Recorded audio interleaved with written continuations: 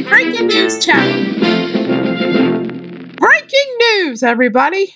And this article was on Fox 61 channel.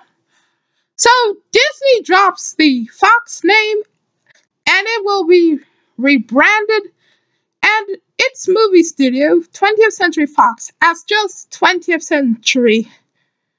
But wow. But wow.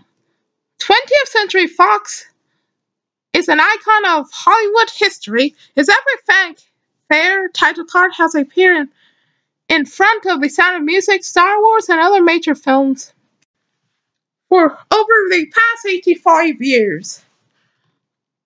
But in 2020, which will be this year, the 20th Century Fox name is going to change. So Disney is going to drop the Fox name from its 20th Century Fox brand, rename the longtime studio as just 20th Century Studios.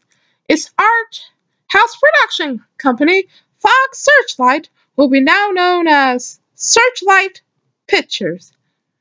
Wow. And also, Disney just closed a 71 billion deal to acquire the studio and other Fox assets last year, which was 2019. The iconic logo, logo, title card, and its fanfare will stay the same, but minus the name of Fox.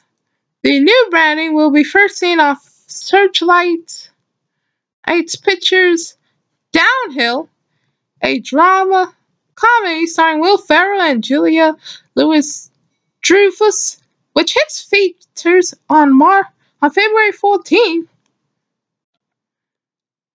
The Call of the Wind, an adventure film starring Harrison Ford, will be the first first 20, first film to use the 20th Century Studios name when it hits theaters on February 21st.